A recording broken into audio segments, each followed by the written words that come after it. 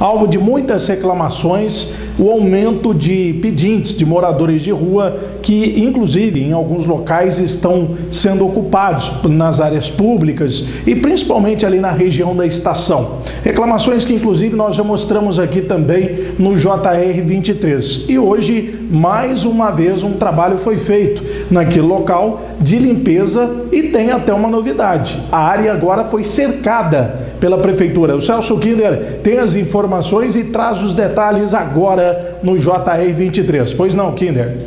É isso mesmo, Samuel Sintra. Boa noite a você, amigo internauta, telespectadora. A Prefeitura voltou a realizar uma limpeza geral nos arredores do prédio da antiga Mogiana, na região da estação, com a retirada dos moradores em situação de rua que estavam se abrigando no local, promovendo o isolamento da área, com a instalação, inclusive, de uma estrutura metálica. As ações foram previamente organizadas e tiveram início durante a semana anterior, com o serviço de abordagem social e nesta segunda-feira todas as pessoas foram inseridas e encaminhadas para os serviços de acolhimento, como abrigo provisório, moradia primeiro e espaço dignidade.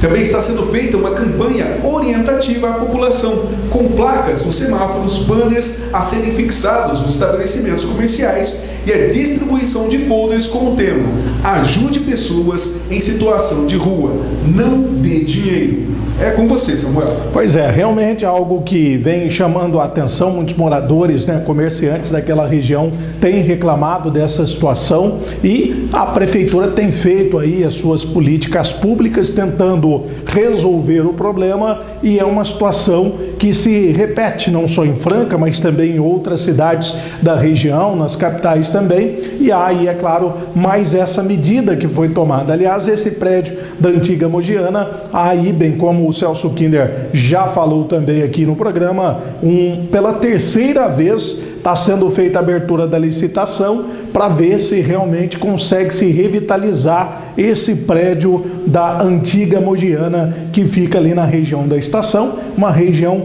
das mais tradicionais e importantes bairros da cidade e que também merece aí toda a atenção. Vamos continuar acompanhando essa situação e a gente vai apresentando os detalhes para você aqui no JR 23.